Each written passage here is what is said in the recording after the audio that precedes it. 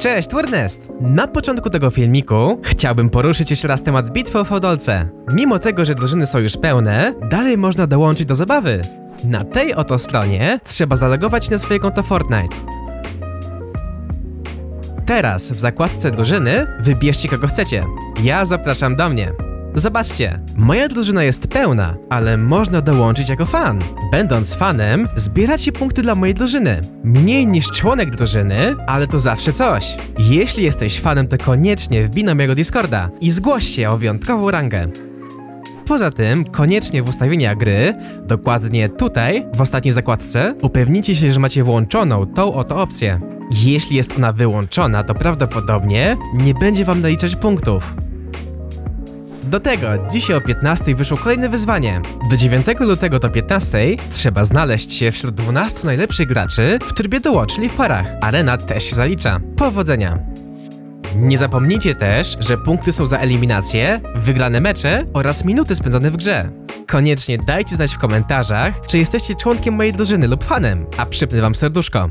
A w temacie wiadomości, to kilka tygodni temu wspomniałem wam o tym, że Samsung prawdopodobnie planuje kolejną współpracę z Fortnite. Pracownicy Samsunga zapytani o to, czy coś o tym wiedzą, odpowiadali typowym Na ten moment nic o tym nie wiemy, ale może coś takiego będzie. Wczoraj w końcu doczekaliśmy się czegoś innego niż tej formułki. Zobaczcie sami. Osoby prowadzące oficjalnego Twittera Samsunga raz puszczają oczko, a raz ciekawskie spojrzenie. Okej, to brzmi zabawnie, ale już za kilka dni, 11 lutego, odbędzie się prezentacja nowych urządzeń Samsunga. To właśnie wtedy Samsung na tej prezentacji powinno pokazać ich nowe urządzenia i ekskluzywnego Fortnite'owego skina.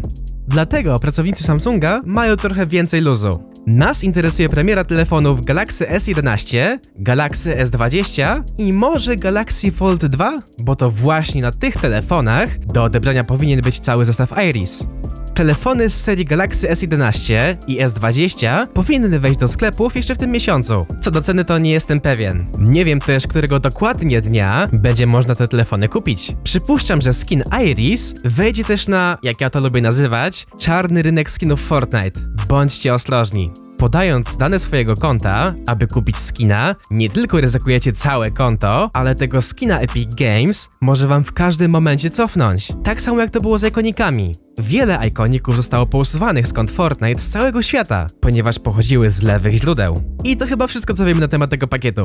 Poza tym w filmiku o ostatniej aktualizacji dałem wam znać, że przedmioty w domku na wyspie na środku mapy będą przeistaczać się w złoto. Ford Tory na swojego Twittera wstawił kilka zdjęć, na których widać jak to będzie wyglądało. Co ciekawe w plikach gry, od jakiegoś czasu skrywa się ten oto skin o nazwie Oro. Jego opis brzmi następująco. Złoty skarb, wieczna obsesja. W filmiku o aktualizacji zażartowałem, że Midas, bohater wielu mitów i legend, zawitał na wyspę Fortnite. Król Midas jest bardzo dobrze znany z opowieści, która opisuje m.in. to, że każda rzecz, którą dotknie, zamienia się w złoto. Po społeczności Fortnite krąży teoria, że Oro jest postacią fabularną wzorowaną na Midasie i że wszystko, czego dotknął w tym domku, zamieniło się w złoto. Niektórzy są nawet pewni, że ta postać Oro będzie częścią karnetu bojowego w drugim sezonie, ale mi się wydaje, że wejdzie do sklepu, gdy ten mini-event będzie trwał. A ten mini-event to różne rzeczy zamieniające się w złoto. Uwagi jest też to, że na jednym ze złotych przedmiotów, a dokładniej na kibelku, będzie plik nawiązujący bezpośrednio do fabuły tego sezonu. Wskazuje na to logo organizacji EGO. Coś zaczyna się dziać. Zobaczymy jeszcze w jaki sposób twórcy gry poprowadzą fabułę tego sezonu. Szczerze mówiąc, to zostało mało czasu, ale na pewno przygotują coś superowego. Mam jeszcze jedną ciekawostkę, ale to już poza tematem fabuły tego sezonu. Na oficjalnej grafice promującej zestaw Harley Quinn w tle są widoczne różne rysunki. Jeden z użytkowników Reddita zauważył, że te rysunki nawiązują do różnych postaci z Fortnite. Jeśli się przyjrzeć, to łatwo jest zauważyć, że to są takie okropne, mroczne wersje tych postaci. Słodziutka gwiazdka na tym rysunku to potwór. To samo zrobiono panu Żelkowi, czy obcemu. Autor tej sklejki zdjęć dodał ujęcie z kurzących kominów, ponieważ według niego te mutanty mogą być w jakiś sposób związane z wyciekiem z tej elektrowni oraz fabułą drugiego sezonu. Radioaktywna Kevinowa ciecz, według jego teorii, mogłaby zrobić z tych postaci złe mutanty. Na koniec zostawię was z bardzo fajnym pomysłem gracza o nazwie Tip.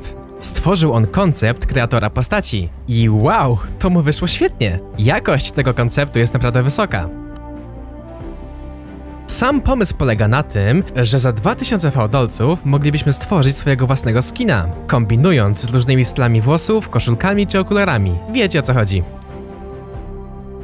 Nie sądzę, aby Fortnite kiedykolwiek dodało taką opcję, ale sam koncept jest naprawdę warty uwagi.